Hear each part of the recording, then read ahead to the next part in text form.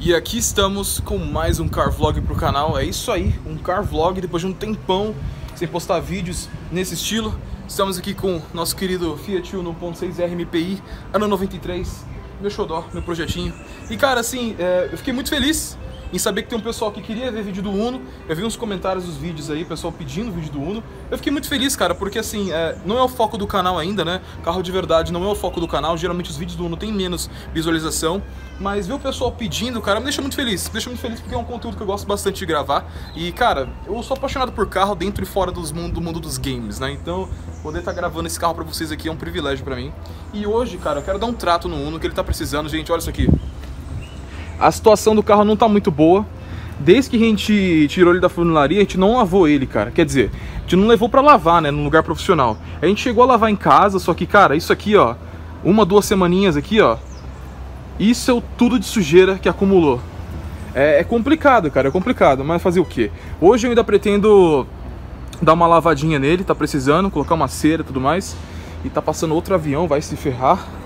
E também eu queria aproveitar e visitar uma loja de peças, cara, que eu já conheço faz muitos anos, só que eu nunca trouxe vídeo pra vocês, eu queria muito já ter feito esse vídeo, acabei não fazendo por falta de tempo, mas hoje eu quero ir nessa loja, uma loja bem conhecida aí, pelo menos assim, pra mim é um pouco icônica, né? Pra quem é de São Paulo e mora nessa região mais pra, pra, pro sul de São Paulo, acho que conhece essa loja, uma loja até que bem conhecida, bem antiga, bem tradicional, né? Enfim, eu não vou dar spoiler agora, mas o que, que eu vou fazer, gente? Eu quero muito comprar a, o kit de fixação do para-choque traseiro, cara. Porque assim, é... A gritaria aí, mano, que isso? Eu quero comprar o kit de fixação no para-choque traseiro, porque, cara, tá fazendo um barulho chato esse para-choque. Ele não tá colocado da forma correta, né? Pra quem viu o último vídeo onde eu instalei esse para-choque aqui. Não tá colocado da forma certa, né? falta o kit de fixação. Eu pesquisei na internet para comprar no, no, Mercado Livre, só que, cara, eles só vendem 20 kits de uma vez. Você não posso comprar um kit só.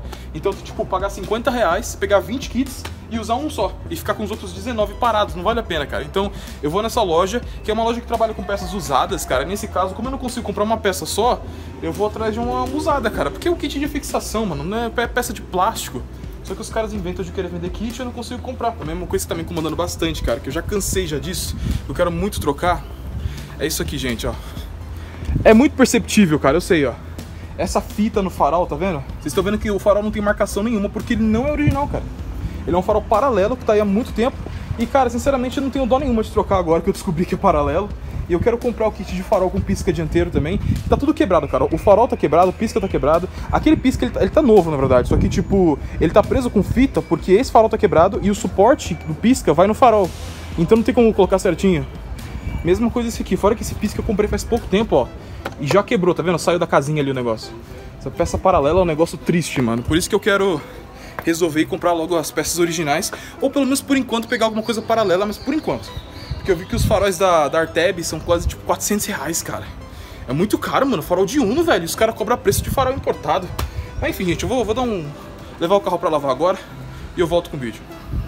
Só esperar fazendo o serviço nele pra vir buscar e continuar com o vídeo, né, mano? Porque olha, tá muito sujo esse carro, cara, sério. E não é só fora, não, dentro também, tá vendo?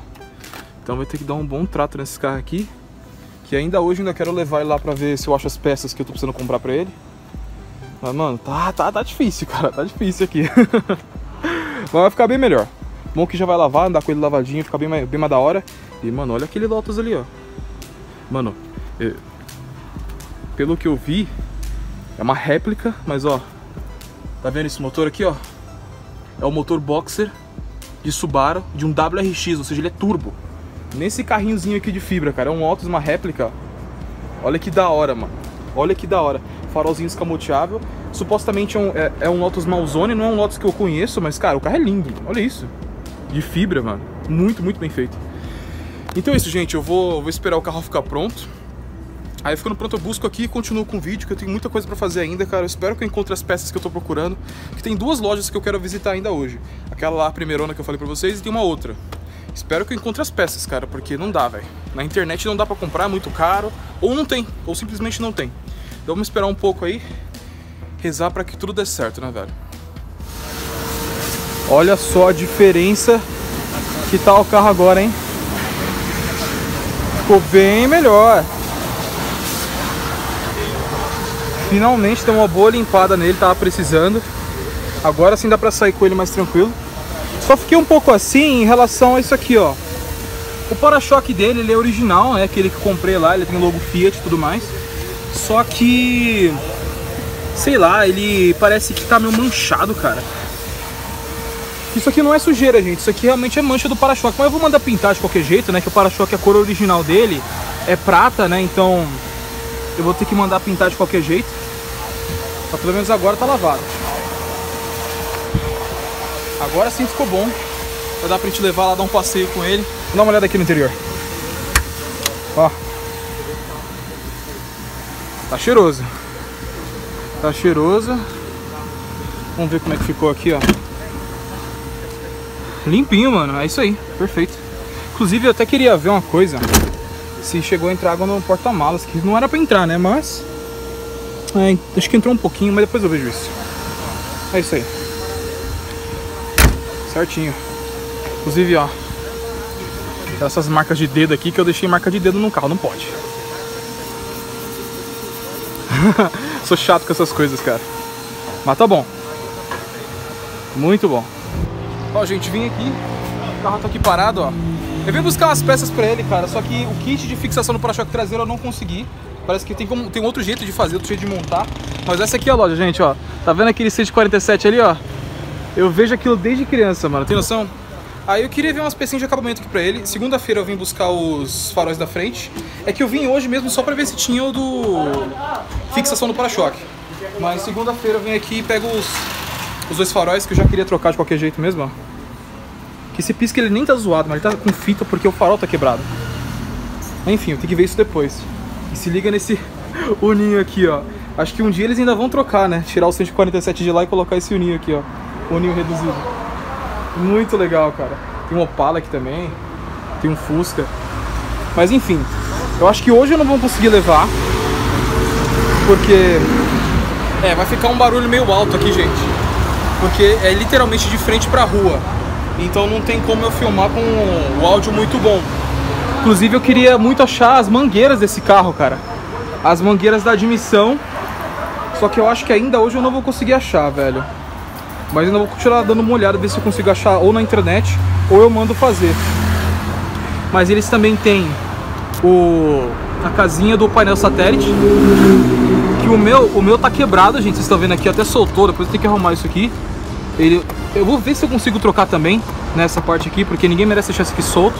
Essas casinhas aqui, ó, elas são as duas soltas por causa dessa, dessa estrutura aqui. Mas é isso, gente. Eu vou. Foi o que eu falei. Segunda-feira eu vou voltar aqui para buscar os faróis da frente. Mas a questão do para-choque traseiro eu vou ter que pegar parafuso mesmo normal e tentar fazer em casa. Mas é isso. Aqui, gente, ó. Olha uma modificação que eu queria fazer, ó. O Uno tá com o volante do, do Temperaturbo Style, mas esse volante da Momo aqui, ó, é caro. É caro, mas o bicho é raro também, né? Não tem como não, tem como não gostar. Tem uma roda do Maré Turbo também. Então é isso, gente. Eu vou voltar aqui segunda. Também tem uns bancos recaro aqui também, ó. Olha que da hora. Mas é isso aí, gente. Segunda-feira eu volto aqui e fecho pelo menos com os, os, dos faróis dianteiros, que tem que trocar. E é isso, gente. Pelo menos eu vim, né? Aí também vou dar uma olhada em outra loja também, uma loja que. Outra loja de peças que tem aqui por perto. Que eu quero ver se eu acho. Eu quero ver se eu acho as mangueiras da admissão. Elas estão todas furadas e eu preciso, cara, urgente delas, que elas estão tão zoadas. Se eu conseguir encontrar aqui, maravilha. Senão eu vou ter que tirar de outro carro. Mas é isso aí, gente. Vou, vou parar por aqui, porque tá barulhão aqui, tá muito alto e sabe como é que é? A estrada aqui é pesada.